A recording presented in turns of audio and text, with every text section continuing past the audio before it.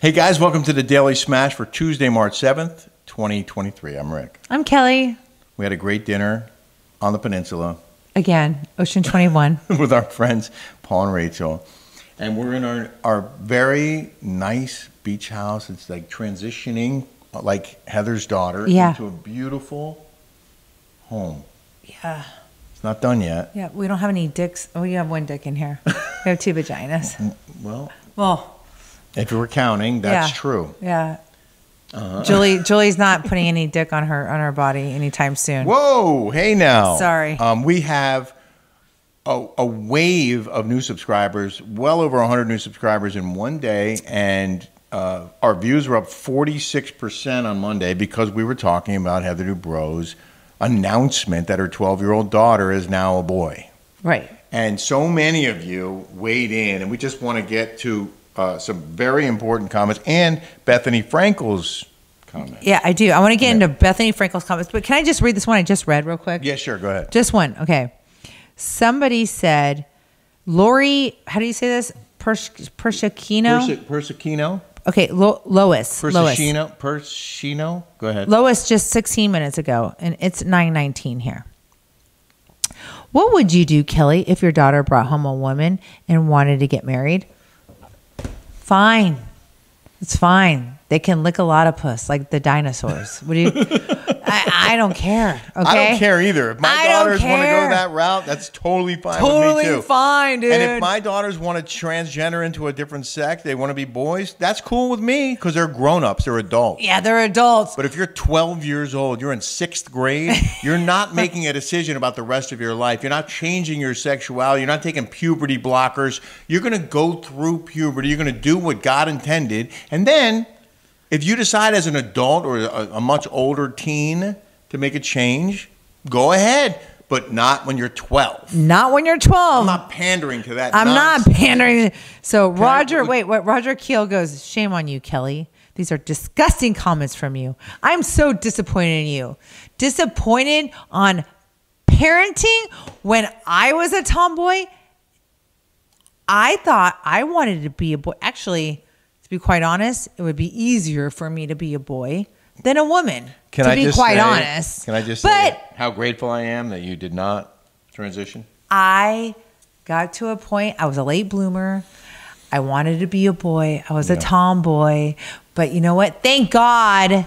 Thank God my parents didn't put me on hormone blockers, put Puberty a penis on me. Right. And and no, no. A lot of you said the same thing that you were tomboys and you grew out of it. And that's what happens to most kids. And if it doesn't, fine. But I say give them and you know what? A lot of these people, these these guys, they're writing this nonsense. A Let me- lot of men. Now, let me read one from Robin Jamie. She's the mom of identical twin girls who she had at 41. They're the youngest of six kids, so she's seen 12 years old a few times. No way, no how, kids make decisions that just aren't good or healthy for them. If I said to my girls tonight they could pick their own bedtime, they'd stay up way too late on a school night. right. If I didn't remind them to plug in school iPads, they'd be without charged iPads at school.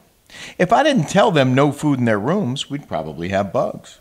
I certainly wouldn't trust them to change their entire identity and gender. Let's get them changing their own bed sheets first. We're parents, we're supposed to guide them. That is being supportive, loving, caring, not this current woke crap. I agree with you. I mean, Bravo. Bravo. Could you imagine if we had a bunch of 12 year olds dictating our society? They wouldn't even know what a P&L was. Profit and loss. They wouldn't even know what the stock market was. They wouldn't know any, if we had 12 year olds deciding our, our, our, Wait, if a our 12 environment. a good point. If someone else made, if a 12 year old is is accused of a crime, a serious crime, are they charged as an adult? 99% of the time they're charged as juveniles because they're not adults. They're not making adult decisions. They haven't developed yet. They have child minds, so they're treated as juveniles. You can't let a 12 year old dictate their future. No. They're sixth graders. They're sixth sake. graders. They don't Aaron- even know how to pay a bill. Aaron You're gonna let them put a freaking penis? And listen, I, I On their-. On their person? Kids are confused. They're they're experimenting. They're confused. They don't know. Maybe maybe this How many girl, girls in college do I know? We we we we've done Whoa, things. hey Not- no. I'm just saying. Like there are things that you you do. experiment, yes, they're experiments. but then you move on You move on to your true self. to your true and self. And maybe that is her true self, and good for her if that's her true self to be a boy. But you don't. But she's twelve. She's twelve. she's twelve. And oh, and the other thing I thought was so great was so many people said, "Well, it was Nat- International Sons Day," and she didn't even mention her her son who was born a boy Nick. and been her son his whole life. He's been her son. Instead, she named her twelve year old daughter, who's now announcing that she wants to be a boy on International Sons Day. Ignored Nick. So so Nick, we know Nick. Beautiful child, amazing kid. Okay, the kid is so polite. I beat him at pool. He's a gorgeous boy. Okay, he is. Kicked his ass. So our friend was dating the daughter. Okay, the, the, she was a girlfriend, and she uh-huh. said that he was stressed out beyond belief. That he had anxiety. I don't know what's going on in that Dubrow family, and I'm. This is the truth, and I can give names, but I'm not going to right now. Okay. But this is the truth. That kid is so stressed out in that household. I, I, you know what? I don't care how much money you have in the world. There's something freaky deaky going on in that family. Well, and I- I, don't know why people would want to watch this train wreck going on. I'm looking through these hundreds and hundreds of comments because there were several of them that talked about that particular point. This one's actually pretty funny. WJR 7660, I begged to be Fonzie. If my parents had listened to me from 9 to 12, I'd be a 56 year old Henry Winkler. They bought me a pleather jacket instead.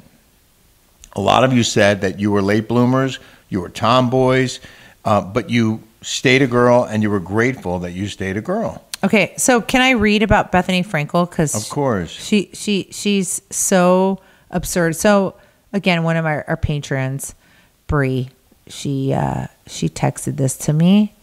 Oh, wait. which is so Okay, unbelievable. So this is from Bethenny Frankel. And Bethenny Frankel talks about me all the time. Okay. She does these rewives, housewives. And I don't subscribe to her thing because I find her to be absolutely obnoxious. And I think that she's ridiculous. And uh, she, she, she's, she seems like she would be very, very hard to be with. Like, uh, like any no man could put up with this chick. Okay, let's just be honest. So this is from Bethenny Frankel. This is the weekend for deep content. If I keep this up, I have to go back on reality TV to mix up some shallow into the batter. This this is my daughter Bryn and her friend Ace, the son of Heather and Dr. Dubrow. Okay, I'm just gonna stop because it's it's there's like double spaces, quadruple spaces in here. This is my daughter Bryn and her friend Ace, the son. Okay, they went on one slope together and now they're friends. It's a girl, okay? She's a daughter. She doesn't have a dick. She's not going through. She's a girl, okay? Let's just get that clear, uh, Bethenny Frankel. Isn't- I've known Heather for decades. Heather was a young actress and friends with my ex husband, Peter brother Danny. Recent life events have made me very nostalgic and want to make the effort to connect to people from my past. So I ran into Heather and her husband Terry in Aspen on the street. I was open. my usual state is closed. Okay. Well, it's so impressive that you were open to talking to Heather Dubrow because normally you wouldn't talk to anyone. But what does this mean? Recent life events have made me very nostalgic, uh, nostalgic, Nostalgic. and and want to make the effort to connect to people from my past. She ran into her on the street of Aspen. Right. So And what- you both were on reality shows. You're on so you both said reality hi shows, and you yes. having dinner together. So Okay. you're, you want to keep it nostalgic. Yeah, congratulations. Wow, you wanna really stepped outside your shell. exactly. so brave oh you. Uh-huh. yeah, so brave of you to step out and say hi, which you ran into other. saw each other again at we dinner. saw each other again at dinner, and I met her beautiful, sweet son. It's a girl, you dumbass, Bethenny Frankel. around Bryn's age. Bryn and Ace made plans to hit the slopes. I soon received a text from Heather saying that Ace had received uh, Recently. it was it recently transitioned. She felt she needed to make some clarifications. It's a new world now. What a world, a world now, a, a new world that you're pandering to this woke mob. It's a w- new world now that you can't, you can't be a parent and say no. You're, you're. It's a new world now, Heather Dubrow, that you can't step up and say I have to be a friend to my like that. My 12 year old can make decisions. Is that what that is? I, I, I want to know what that means. It's a new world now. I- I'm- no, I'm- it's not. I'm glad that It's I'm not the same parent of a world. 12-year-old. It's the same world that has been for billions of years. Okay, there's a right way and there's a wrong way of doing things. Okay, that's that's that's that's the world that's always been Heather Dubrow. So I, I it just get it just makes me so outraged. So um, she felt the need to to some clarification. It's a new world now. Thankfully, every moment is a learning experience. No shit, you're 12 years old. You have a whole life ahead of you to learn. When I first met Ace at the table, there was a noticeable joy and happiness in the essence and an extra dose of sweetness, which I communicate to Heather after the after dinner. Really? You know what? Uh, Let me just stop there. When I was at Farrell's with my my friends at 12 years old and we had some ice cream, we had we had an essence and an extra dose of sweetness too. Okay? Wait, you were happy when you were 12? Y- You were happy? You had Yeah. good times when you were 12 years old? Yeah. And there was an extra sweetness. That's remarkable. Oh God. Wow. Yeah, great. Extra dose of sweetness. Great. Yeah. Isn't that great? Wow. Yeah.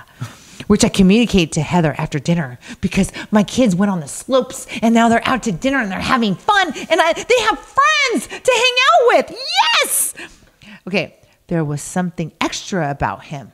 Upon reflection, I was sure it was that he is allowed to be extra happy about him. Upon reflection, she keeps saying reflection over and uh-huh. over again. Yeah. Okay. She said reflection like 10 times in one freaking paragraph. Okay. And I'm not a writer by any, by any state of the means, but upon reflection, she said reflection like a hundred times. I was sure it was that he is allowed to be who he actually is. You're 12. You're 12 dumbass. Bryn and Ace quickly became friends, texting, skiing, and snowboarding, posting TikToks, and going to Bryn's Aspen dog tour. Okay, that's what kids do at 12. Yes. They have a good time. They go skiing, they go see the dogs. So the they point go of this is that this, this kid is a normal kid, right? Yeah. That's the point. Yeah. They're I- friends, they're normal kids. Yeah. Doing kid things. doing kid things and they're extra happy. I. Um, okay. um, well, they're in Aspen. yeah, it's that's what. It's, happens, pretty okay. cool place to be. she met a friend. They're, they're, I mean, Yeah. yeah, they, they now met each other. Now they're having a good time together Right. because either one, either That's one of them, either one of them had friends there to begin with. So now they met friends and now they're fun and they're having a good time. Right. Okay. So Whatever. wait Who here. Wait. Lastly, I've always said and believed you can't be who you're not. You can't be who you're not. You she's 12. She's 12. You said to allow yourself to be free and being who you are. Life is so short and precious. Okay? Life is so short at 12 years old. Yeah, and it is precious, Bethenny Frankel. Uh, be who you want to be and be a good person in the process. Yeah. Okay. That's that's really wise. That is so profound, Bethenny Frankel, at a 12 year old. You know, okay? listen, I, I think what we all have to remember is that 12 year old kids are still developing. They're not fully mature. And many of them change their minds. They go back and forth. They think they're one thing, then they think they're something else, and then they wind up being who they are intended to be. Let's let kids be kids. Can we just do that and stop pandering to this movement and allowing uh, puberty blockers to alter body chemistry at an early developmental stage and then changing who they're intended to be for who they think they might want to be at that age when they're not ready to make decisions about the rest of their lives? Bethenny Frankel, Coco is not a boy, it's a girl. Okay. So stop pandering to this woke mob. Okay. I don't know. You two anorexic chicks that are doing these weird things. Okay. Get your kids into more things with other children and maybe they right. will have fun. I want to get to some other comments here from Su- Susanna Hirano. Dubrows have one bisexual daughter, one lesbian daughter, and one transgender daughter?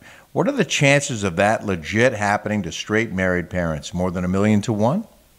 There's some freaky deaky stuff going on there. Do any of you know families like that? Maybe it's more common than we think. No, but it's this not. person didn't think so. I feel it's child abuse, said Kay Pisano. At 12 years of age, it's your responsibility to be and act as a parent. Wait till the child is 18 and then let him, her make their own decisions. A lot of people. What are the odds that one out of four kids, one is bi, one is gay, one is trans? I feel like it's an attention grab. For yes. Them. Outing the 12 year old is sick, It no is. matter how they dress the situation up. It's and She said that when he is ready, maybe he'll tell his story. Well, why did you tell his story? Thank you, at Grace the age Marie. Of 12. Yeah. Thanks, Grace Marie, for having mean- some kind of decorum. Kate Gillette, a 12 year old knows nothing. Their scope is too small. They can only understand what feels good at this point. And to a 12 year old, that is pure acceptance. See, oh, that's what the girl. That's when when when they made friends. They went to the slopes. They had a meal. They had a good time together. But if your world, I don't think these kids have friends. if your world is full of transgender, bisexual, lesbian, that's all you know and it's all around you, then like maybe I'm that way so I can be accepted by my family. Okay. Because God forbid I'd be a, like a, a straight girl and then be ostracized because I'm Heather- not cool like them. Heather and Terry are uh, want to be like the cool parents. I'm the cool parents. I'm progressive. I'm I'm doing these things to be cool parents. Your kids are screwed up, dude. Like, let's just be honest. Let's call a spade a spade. And you know what, Bethenny Frankel, you're just as screwed up for pandering to this audience. I thought you were different from this. Marianne said 12 year olds aren't smart. They need adult protection. Kelly, you are on point. Thank you. I was a tomboy. If I knew I had to commit and identify as a boy, I would be a different person today with no kids. Exactly. I mean, listen, and, and I think it's really important that we both are on the record that we fully support the gay community, fully support the transgender community. We're not coming out against any of that. Any choices that any adult wants to make, I'm cool with it. Are you cool with it? Totally cool with it. I, we, I mean, One hundred percent cool you have with more it. gay friends than anyone I've ever met. Yes, I'm totally cool with that. And and and, and I, Uh, I have zero issues with any of it except when you're talking about a child. This is what bothers me is it's a 12 year old kid, and you don't just pander to that child who thinks they want something now and they change their mind down the road. And now what have you done? If you block their puberty, you've completely changed the rest of their life. Okay, you have. And if you go through with some kind of hormone treatment and then potentially surgery, and then God forbid they change their mind because a lot of them have. And then what? Well, now what- you have to what- what transition happened- back. would- Why not just let them grow up, and when they're an adult or close to being an adult, then they can make a decision about their own body. What what what would have happened if Angelina Jolie or Brad Pitt would have done that to Shiloh? Shiloh is a thriving woman. She's gorgeous. She she didn't pander to this audience. She didn't do that. She didn't come out and like spill it all over like she's some. It's ridiculous. It's ridiculous. We all change as women. I wanna read Our one hormo- more. Look at we're change. Women hormones change. We Oh, turn yeah. into men Oh, when yeah. we're we're old. We have to get hormones Let me- because we turn into dudes, I want to read one more from. and you can turn into chicks. No, I don't. And that's not happening. K Dub Free. Unbelievable that HD would blast this throughout the universe. If the little girl wants to be a boy, that's a private matter. How absolutely mortifying for her. With guidance and God in our homes, this can be avoided. And don't justify this as, but this is how she feels and what she wants. That's too effing bad. A 12 year old shouldn't be able to make a life altering, life changing decision of this magnitude. To allow this child to be put on puberty blocker, blockers, to allow this child to be put on puberty blockers falls 100% into the child abuse category, according to KW Free. If you so even raise your voice to, to your child these days, CPS can show up. But to knowingly put a child on puberty blockers is okay? This is some woke ass buffoonery, and it will not be normalized. Thank you. That's I it. love that. I think we have to end there. Yeah. I think that's perfectly well said. I appreciate every one of your comments. They're amazing.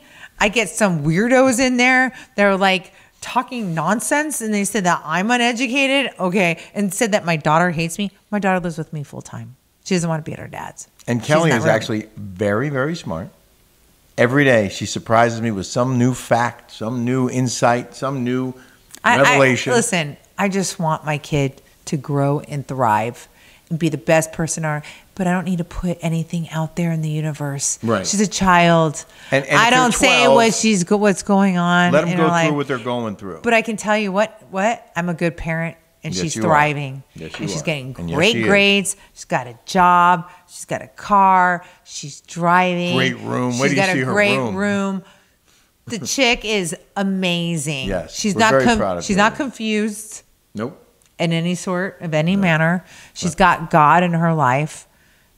She goes to Catholic school. Good job, Mama. Yeah. Good job. That's parenting. Okay? we hope you enjoyed this smash. Uh, we've we got a little smashed earlier, but Well, we, I had two glasses of wine. I'm like, but I didn't eat all day. I'm on a carnivore diet. yeah. Let's see. Let's see what happens. Yeah. I'm on a I'm on a carnivore diet. I have Hashimoto's, and my girlfriend says this will cure it.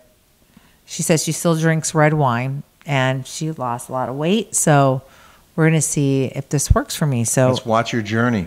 let's watch my journey on the carnivore We hope you have a diet. fantastic day, everybody. Thanks for being with us. Thank you so We'll See you much. tomorrow.